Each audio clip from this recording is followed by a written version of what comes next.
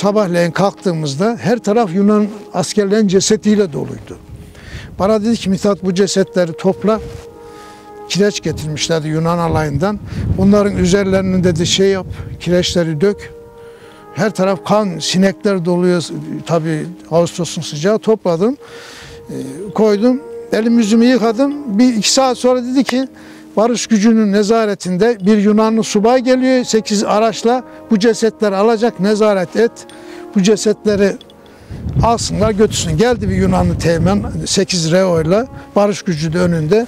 Şimdi geldi bir gün önce savaştığımız adamlar karşımda. Ben de burada ne düşünüyorum ne diyeyim yani tokalaşsam düşman mı diyorum tokalaşmasam ne diyeyim falan bir şeyde kaldım. E, İşte İngilizce hoş geldiniz falan dedim ondan sonra. Cesetlerin yerlerini gösterdim. Cesetleri aldılar. Reolara doldurdular 8 oy. Benim tahminim o arada bir 200'e yakın ceset vardı onları. Aldılar. Reolarla onlar götürdü. Ben de gittim böyle komutana. Komutan cesetleri de aldılar götürdüler dedim. Tamam dedi. Elim yüzümü yıkadım. Yani şimdi burada bırakayım. Yani